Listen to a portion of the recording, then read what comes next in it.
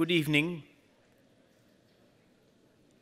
I'm privileged to have this opportunity to speak to you for a few minutes on some of the challenges which India faces. What have we done so far? And what's the road ahead? Let me begin by where I stopped. Let me begin by recounting on one or two things which I said in the acceptance speech of my award. I said that we lost our iconic global position long ago. We ran into a long colonial era which destroyed the roots of the foundations which India had cherished. We struggled along. In the initial years of Indian planning, our policymakers were embedded to an excessively socialist idea of a planned economic development. They were driven by a, Fabian socialist tradition, achieved, of course, the twin purpose of non emergence of colonialism once again, but in the process, they over-regulated our economy. Unfortunately, the initial leaders were far too impressed by the uneven success, retrospectively speaking, of the centrally planned economies and Soviet Union. So what happened then was that we began to excessively believe in the power not of private capital, not of innovation, not of crafting pedagogy and teaching methods which would be suitable to the needs of India, but of over-regulating it with government intervention at every step of the game. How was this financed? This was financed primarily by excessive borrowing, which made our debt position exceedingly tenuous, which landed us in periodic balance payments crisis, which threatened the macroeconomic stability of India. So when all this began to surface, in 19, by 1980, our debt had become already vulnerable.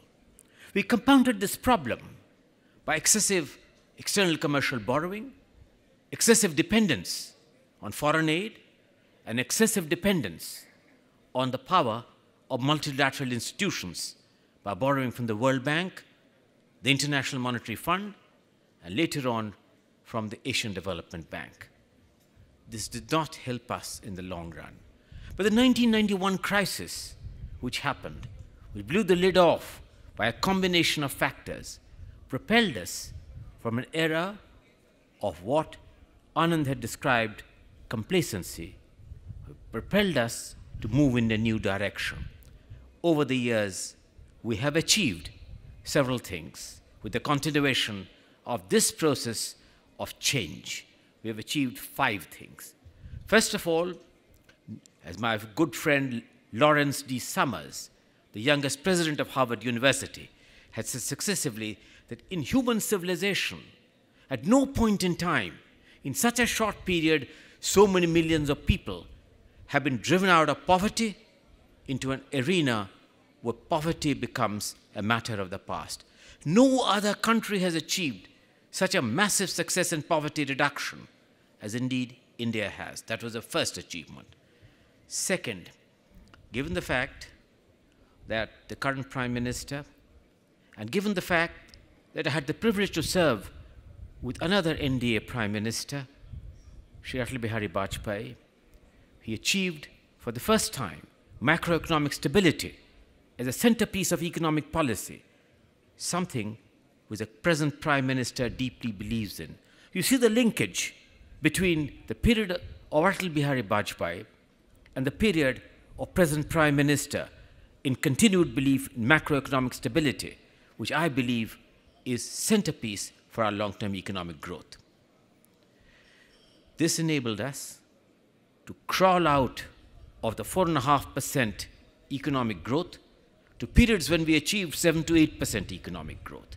The current economic sluggishness is cyclical, it is episodic, it is transient.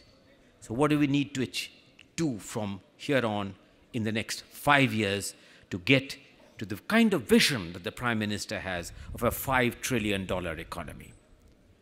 First and foremost, we need to continue to pursue macroeconomic stability at any cost. Second, we need to change our education and health systems to align them with a kind of pedagogy which will create the jobs of tomorrow because the present educational structure creates jobs of today which may or may not exist tomorrow. And how do we make our educational system viable to reach out for that? Third, how do we redesign our health systems and our skill inculcation systems, which provides employment for the jobs of tomorrow and which enables a very healthy India to contribute to its economic well being and welfare. What is the fourth thing which we need to do?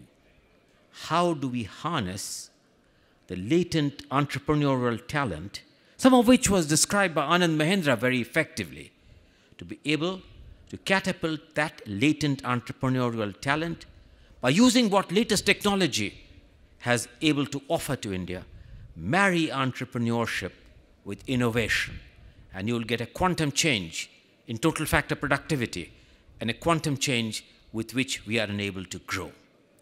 How does this happen? Does it happen automatically? Perhaps not. But I think that the fifth and most important thing is how do you, does India grow from the triple engine? The engine of innovation, the engine of harnessing its very young population and what is Prime Minister has described, the power of dividend demography in a managed way which enables unleashing of the entrepreneurial talent.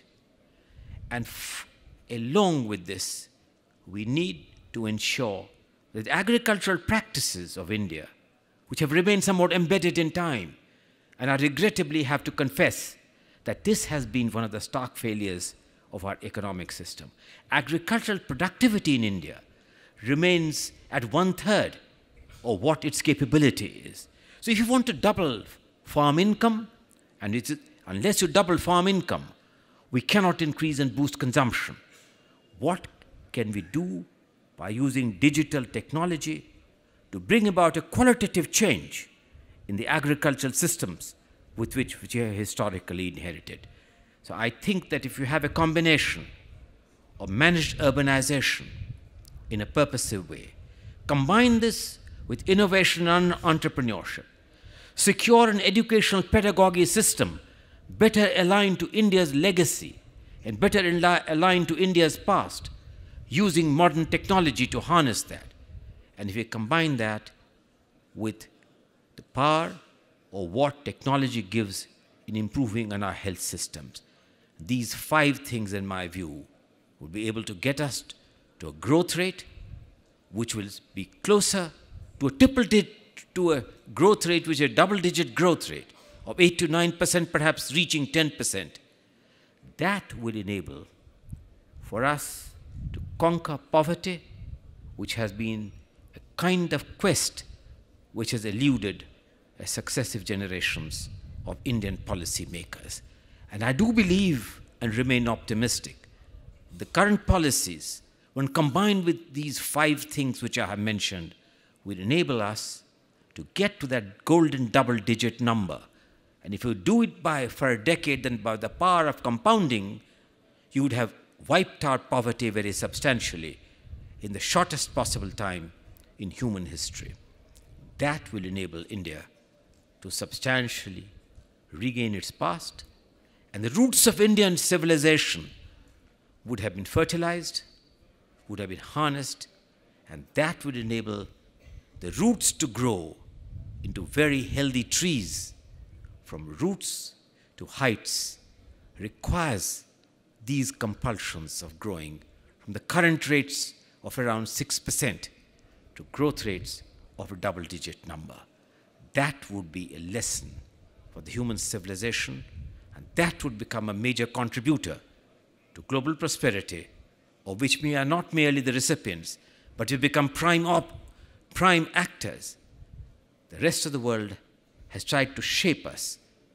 This is the time when we can shape the world we can shape the fortunes of the world if we combine these four or five things, which I believe is central to the compelling necessities of wiping out poverty, securing better health and better education, fostering innovation, creating jobs.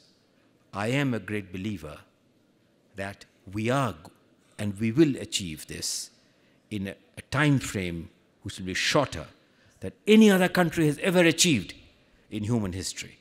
I therefore look to the past at providing sustenance to what, combining with technology and other factors, we will be able to regain our position when the roots of Indian, what roots of India are rejuvenated to meet the compelling needs of tomorrow.